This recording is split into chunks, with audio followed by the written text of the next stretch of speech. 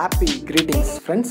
Today I'm here to explain you about bottleneck phenomenon in any of the production industry.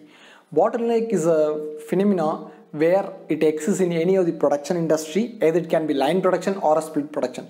First to go with I'll give you the explanation uh, maybe the definition and uh, a live example and the tool to identify it and how to overcome it. So this will be the part of our video explanation. At first what is bottleneck? A bottleneck is a phenomenon where a delay exists in a production due to the processing time.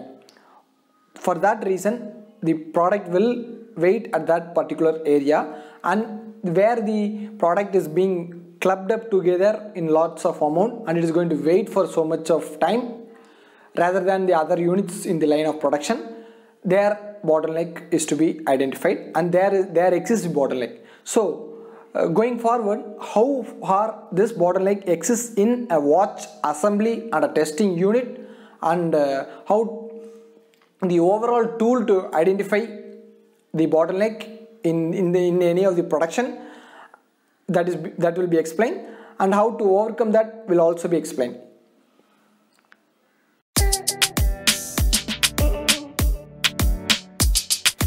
as said we'll go with the watch assembly and an inline testing line example. So for that reason i've just depicted the process flow chart of that uh, particular line. So with that i'll explain you the each and every para parameters of it and then with the flow. First is input that is the casing and the machine watch casing and machine normally a hand watch. Think of a hand watch.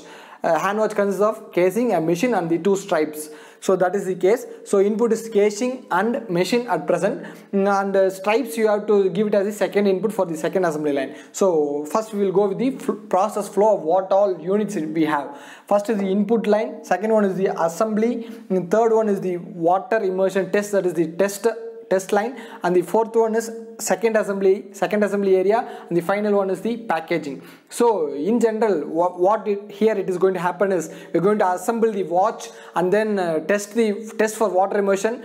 And then uh, make it as a final packaging. So each and every process has individual cycle times that is being noted. So we'll go the flow and i'll explain you. First the casing and the machine is taken as the input and assembly process takes place. Assembly process takes place with a cycle time of 3 minutes. So 3 minutes is taken to assemble the casing and the machine. After this 3 minutes say for an example one casing and one machine is given to this assembly point. And now with after 3 minutes the casing and the assembly will come here for water immersion test and it, this will take account for 6 minutes.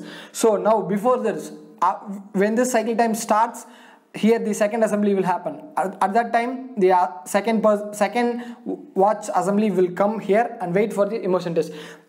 And here it takes 6 minutes. So after 6 minutes the watch Uh, casing and machine will go here for the assembly of stripes. Here it takes 2 minutes and then go, it goes for packaging for 2 minutes. Now after 6 minutes when the casing is going to come after test for second assembly here here is where the bottleneck phenomenon occurs. From here the output is for 3 minutes so every watch and the casing and the machine will come here and stay stagnant. For the idle 3 minutes. So this is where bottleneck occurs because of the low capacity of this water immersion test machine. So if in case this, this machine is going to have higher capacity so at a time it can say for an example if it is going to have two immersion test machines uh, then the line will be in line this this assembly 2 unit shall not wait for the output from water immersion test. So this is where the bottleneck occurs. Uh, so this is one fine example of what watch assembly and inline testing example of bottleneck identification. So this is for this is as a simple line we can find it out with, with our visual visual identification itself. So to be more precise what is the tool to identify where bottleneck occurs? That is VSM value stream mapping. With the help of value stream mapping you can identify where the bottleneck occurs. Uh, with that we can find uh, we can filter out the value-added and non-value-added activities and you can find out where the bottleneck occurs. At present the, after this explanation I have given you the tool to identify bottleneck occurrence. So after that the solution to avoid bottleneck so I'll I'll just narrow down to this solution th- this problem alone. So that uh, each and every bottleneck may have different solutions. But at this present see each every 3 minutes this assembly line gives input for water immersion test. But after 6 minutes only the output is there.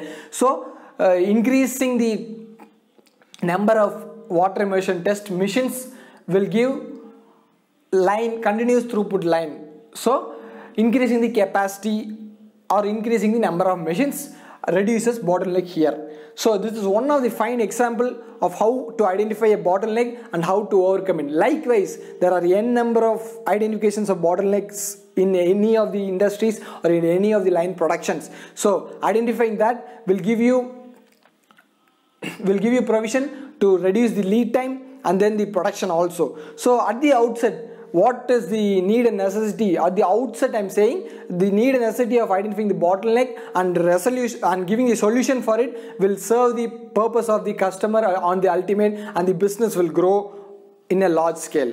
So th- this is all about bottleneck explanations and a tool to identify it and the and the defect solution at this case alone. So you you make it analogical with whatever industry you want to explain with or you want to make it related to it and you you'll find this solution and it will be a pleasant finding the bottleneck and avoiding it and neglecting it and then uh, rising up the sorry lowering the lead time and then satisfying the customer need in a green manner. So thank you friends. Thank you